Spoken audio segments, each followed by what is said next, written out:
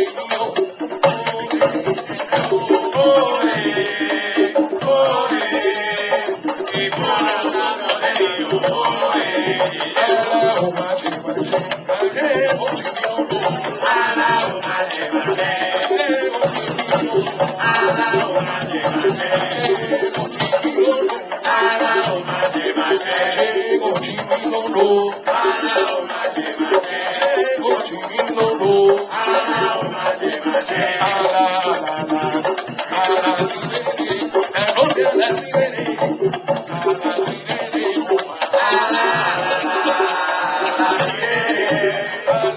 Yeah.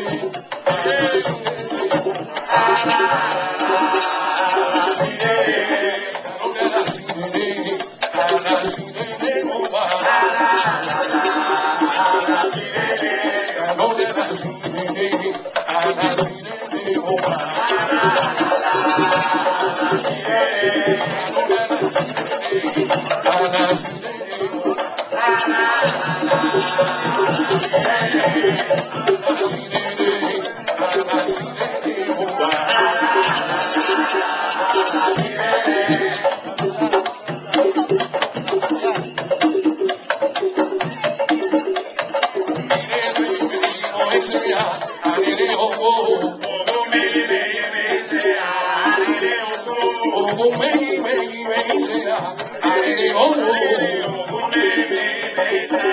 you.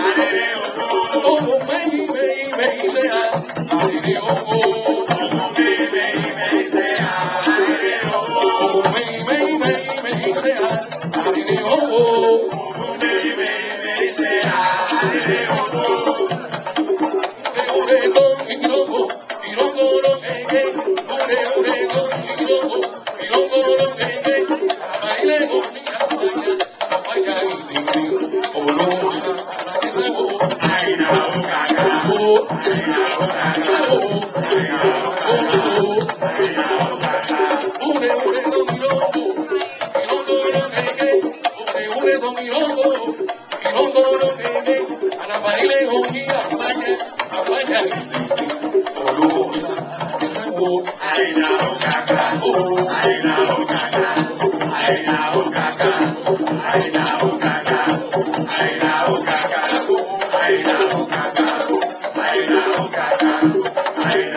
you.